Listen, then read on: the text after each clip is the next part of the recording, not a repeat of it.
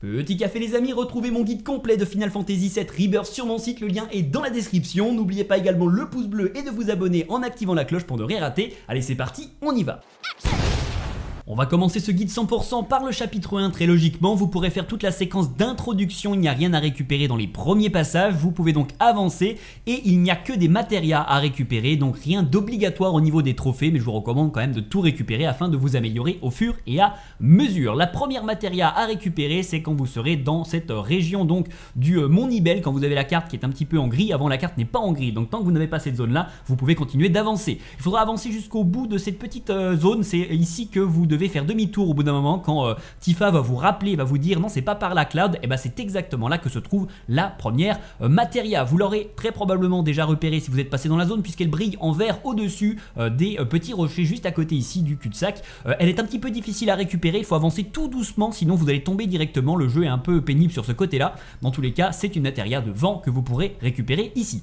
Matéria suivante, on va continuer d'avancer au long de ce chapitre, on passe donc dans le chemin suivant et on arrive face à l'une des premières portes fermé, tout ça est lié à l'histoire bien sûr, vous attendez que la porte s'ouvre avec Sephiroth qui va interagir avec le terminal et on va directement rentrer dans cette euh, pièce. Et sur la droite vous pourrez voir l'autre matériel, la deuxième matériel que l'on va récupérer juste ici donc quasiment sur le chemin. Donc pas de souci de ce euh, côté là. La troisième on continue d'avancer au fur et à mesure jusqu'à arriver dans cette zone ici, c'est également là que vous allez rencontrer votre premier banc pour vous reposer. Donc là aussi très facile de le repérer après avoir monté quelques petites plateformes. Directement vous avez le banc ici et à côté une matéria rose pas de problème pour la récupérer, matériel de PV augmenté. Directement après, on va pouvoir rentrer dans la grotte, on va euh, suivre ici le chemin directement de l'histoire pour euh, avancer et on va continuer un tout petit peu plus loin dans la grotte. Normalement, la suite c'est sur la gauche, on va juste aller tout droit dans un premier temps. Derrière les ennemis, on a une petite pièce secondaire qui est juste ici sur la droite et effectivement une matéria verte au fond de la pièce que l'on va aller récupérer. La euh, voici directement une matériel de renforcement offensif. On va repartir directement depuis ici, on va faire demi-tour et on va euh, s'enfoncer donc dans la grotte pour aller chercher les matérias euh, suivantes tout au long de ce petit euh, chapitre. Hein. Il y a des chapitres qui sont beaucoup plus gros bien entendu, cette première vidéo est assez courte. On descend ici donc dans la partie principale de la grotte, vous aurez une cinématique qui va se déclencher quand vous allez vous approcher ici du cristal. Je vous laisserai la regarder ou la passer si vous avez déjà fait le jeu et on enchaîne en remontant ce coup-là en direction de l'extérieur par la petite partie qui